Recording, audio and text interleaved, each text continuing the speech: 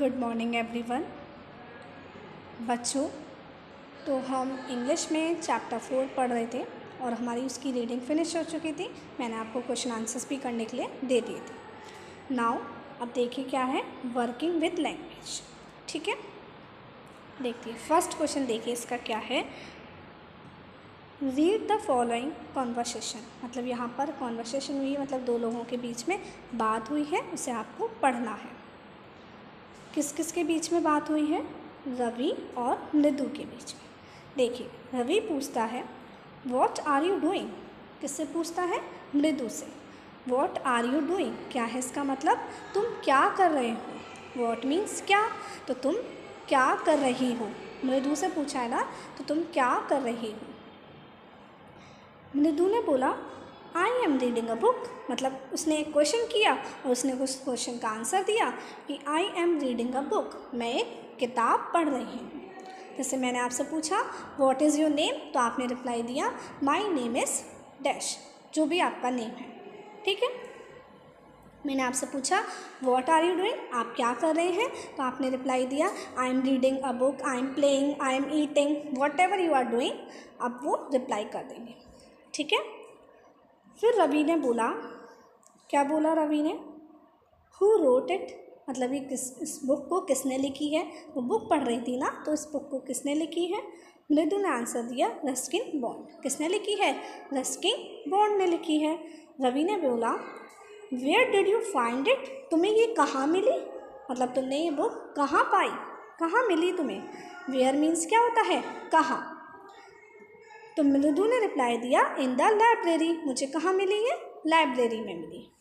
ठीक है? तो इस तरीके से रवि ने मृदु से कुछ क्वेश्चंस पूछे और उसने उस क्वेश्चंस के आंसर दिए। तो इस तरीके की ये कॉन्वर्सेशन रवि और मृदु के बीच में चल। अब देखिए, क्या है? Notice that what who where are question pass अब आपने देखा उसने क्वेश्चन पूछा ना तो क्वेश्चन पूछने के लिए उसने कुछ शब्दों का इस्तेमाल किया, जैसे क्या क्या इस्तेमाल किया? वॉट हु वेयर तो ये सब क्या है? क्वेश्चन वर्ड्स हैं। क्या वर्ड्स है ये? क्वेश्चन वर्ड्स जिसमें हमने किसी से सवाल पूछना है, हमें किसी से क्वेश्चन पूछना है तो उसके लिए हम वर्ड्स का इस्तेमाल करते हैं। तो वो वर्ड्स क्या कहलाते हैं? क्वेश्चन वर्ड्स जैसे वॉट हु वेयर और बहुत सारे क्वेश्चन वर्ड्स होते हैं। जैसे देखिए कौन कौन से क्वेश्चन वर्ड्स होते हैं।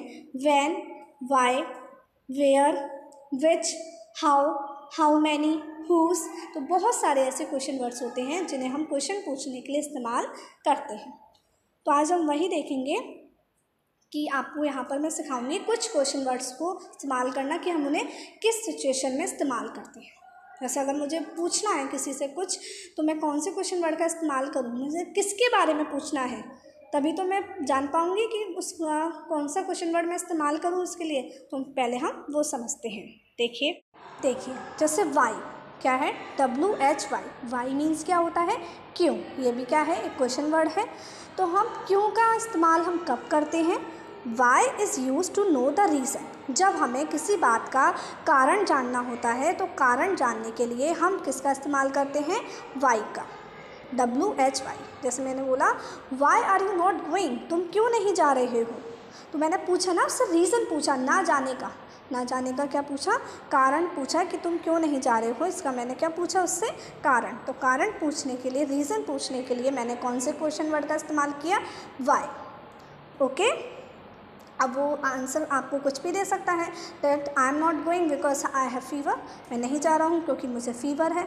तो इस तरीके के वाई का इस्तेमाल हम रीज़न पूछने के लिए करते हैं। आगे देखिए।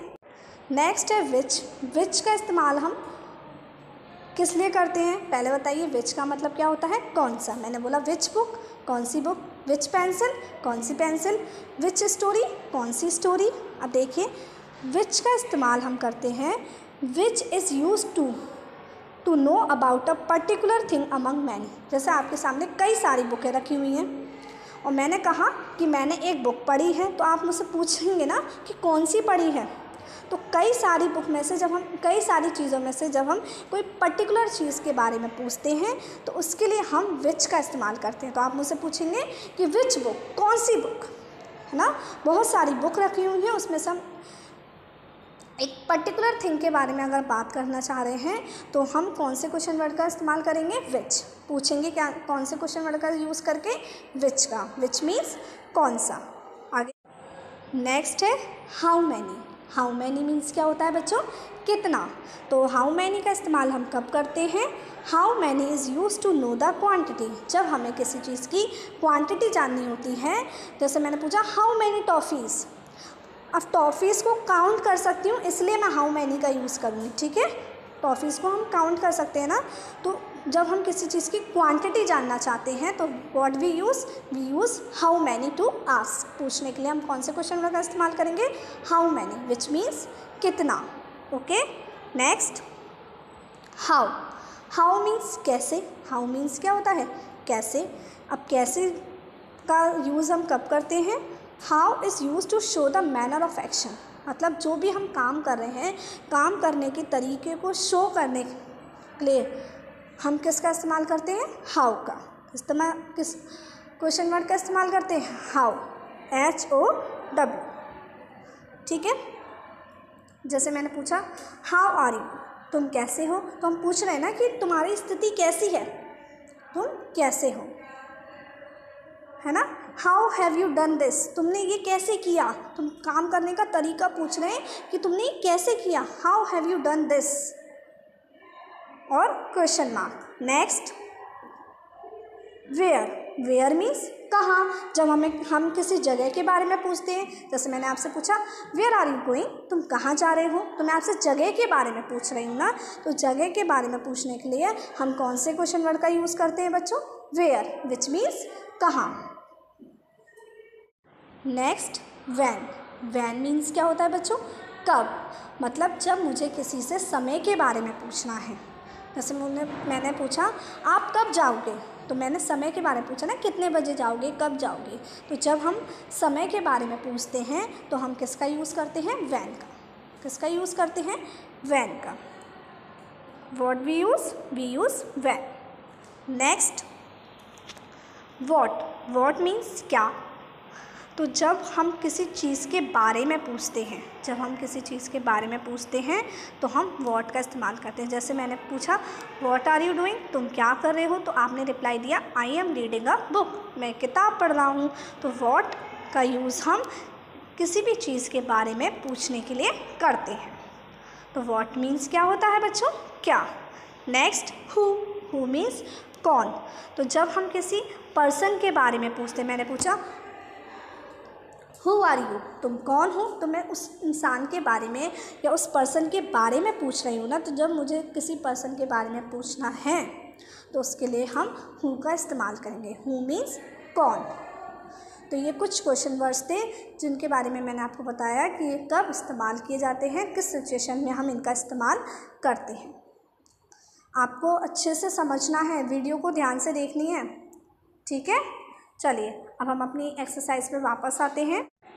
देखिए, आपको ये एक्सरसाइज में पैराग्राफ पढ़ना है और जो वर्ड्स थोड़े इटैलिक लिखे हुए हैं मतलब थोड़े टेढ़े लिखे हुए हैं, उन वर्ड्स के ऊपर आपको क्वेश्चन बनाने हैं। देखिए, जैसे मैं आपको बता देती हूँ कौन कौन से हैं, ताकि आप कंफ्यूज ना हो। जैसे first Anil is in school इसका आपको एक क्वेश्चन फ्रेम करना है। मतलब ये आपके पास आंसर दिया है तो आपको उसका क्वेश्चन बनाना है। जैसे मैंने कहा I am reading a book अब मैं आपसे कहूँ, इसका क्वेश्चन बनाइए तो आप कैसे बनाएँगे? I am reading a book मैं एक किताब पढ़ रहा हूँ तो अगर मैं क्वेश्चन बनाऊँ कि तुम क्या कर रहे हो तो उसका आंसर क्या आया? मैं एक किताब पढ़ रहा हूँ। है ना? आप इंग्लिश में ना सोच के, पहले हिंदी में सोचिए, ताकि हिंदी में सोचेंगे, फिर उसकी इंग्लिश आप इजीली बना लेंगे। तो मैं क्या कर रहा हूँ? उसने पूछा, किसी और ने पूछा, तुम क्या कर रहे हो? तो मैं क्या आंसर दूँगी? आई एम रीडिंग अप तो तुम क्या कर रहे हो? वॉट आर यू डूइंग क्या हो गया? क्वेश्चन हो गया। तो इसी तरीके से आपको लिखा है। अनिल इज़ इन स्कूल क्या लिखा है? अनिल इज़ इन स्कूल तो आपको उसका क्या बनाना है? क्वेश्चन बनाना है। अनिल स्कूल में है। अब आप उसका क्वेश्चन बनाइए। पूछेंगे कैसे? इन स्कूल पे बनाना है आपको क्वेश्चन इन स्कूल को हटा के क्वेश्चन लगाना है। कोई कौन सा क्वेश्चन वर्ड लगाएँगे? हम यहाँ पर जगह के बारे में पूछ रहे हैं ना कि अनिल कहाँ है? स्कूल में है। तो जगह के बारे में पूछ रहे हैं। तो क्वेश्चन क्या बनेगा इसका? वेयर इज़ अनिल क्या क्वेश्चन बनेगा बच्चों?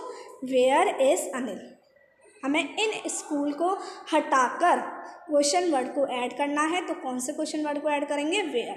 तो क्या बनेगा इसका question? Where is Anil. Next. I am in school too मतलब मैं भी स्कूल में ही हूँ। देखिए।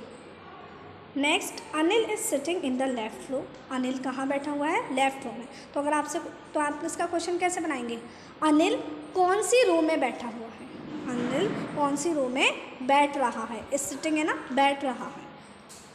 तो इसका क्वेश्चन कैसे बनाएँगे?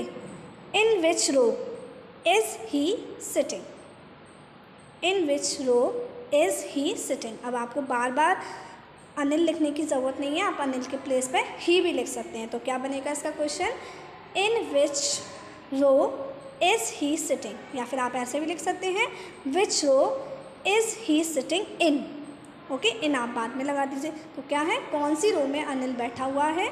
तो उसका आंसर आ गया, Anil is sitting in the left row okay अब देखिए क्या है। He is reading a book अब आपको रीडिंग अ बुक पे क्वेश्चन बनाना है। कैसे बनाएँगे? देखिए रीडिंग अ बुक तो इसके लिए हम कौन सा क्वेश्चन वर्ड इस्तेमाल करेंगे? What what is he doing वह क्या कर रहा है? वह किताब पढ़ रहा है। मतलब आपको ये आंसर्स दिए हैं and you have to make the question okay तो इसका क्वेश्चन क्या बनेगा? What is he doing understood next Anil's friend is sitting in the second row अब इसका भी सेकेंड रो पूछा है तो इसका भी आप वैसे ही क्वेश्चन बना देंगे। कैसे बनाएँगे? कैसे बनाएँगे कि in which row is in which row is Anil's friend sitting Anil का फ्रेंड कौन सी रो में बैठा हुआ है? तो in which row is Anil's friend sitting ठीक है? या फिर आप ऐसे भी बना सकते हैं इसका? Where is Anil's friend sitting where is Anil's friend sitting और इस पूरे ऊपर वाली लाइन का भी हम ऐसे बना सकते हैं। Where is Anil sitting okay आई बात समझ में तो आप दोनों में से किसी को ऐसा भी आप लिख सकते हैं। नेक्स्ट देखिए। He is he is sharpening his pencil वह अपनी पेंसिल शार्प कर रहा है।